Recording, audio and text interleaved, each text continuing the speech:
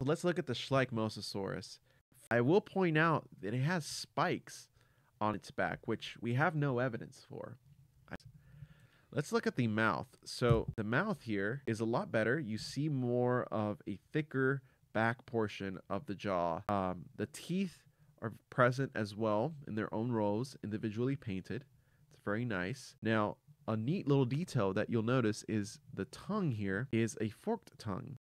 Now, one detail that we also should look for is the double row of teeth that Mosasaurus had in the back of their skulls. That is present right there. Now, let's move on to the tail. There's that bifurcated tail.